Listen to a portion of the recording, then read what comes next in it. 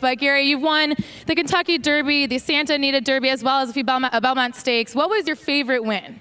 Uh, definitely the Kentucky Derby, but uh, my first win in the Arlington Million here on a horse named Golden Pheasant uh, is, uh, was a highlight of my career as well. I was fortunate enough to ride in uh, several Arlington Millions. Wound up uh, winning three, but my last one in, in 2003 was a, a disaster. it had a horrible spill right at the finish of the race, and we were wound up disqualified, but uh, the two, two wins I got to keep in the Arlington Million very special to me. Absolutely, and here on Million Day. But as I mentioned before, you're you're a movie star in my eyes because I love that movie Seabiscuit. I know a lot of our fans do as well. What was it like filming that movie and working with Tobey Maguire? It was a great experience uh, from the word go. He uh, Tobey had never ridden before. I'd never acted before, so we kind of held hands uh, throughout the movie, and uh, it was a great experience for me and made some great friends, worked with a terrific cast, great director, great producers, and uh, experience I'll never forget. Absolutely. I love watching that movie. But you're here, you're enjoying the weekend, you're part of Dining with the Dynasty event as well as the autograph signing session, but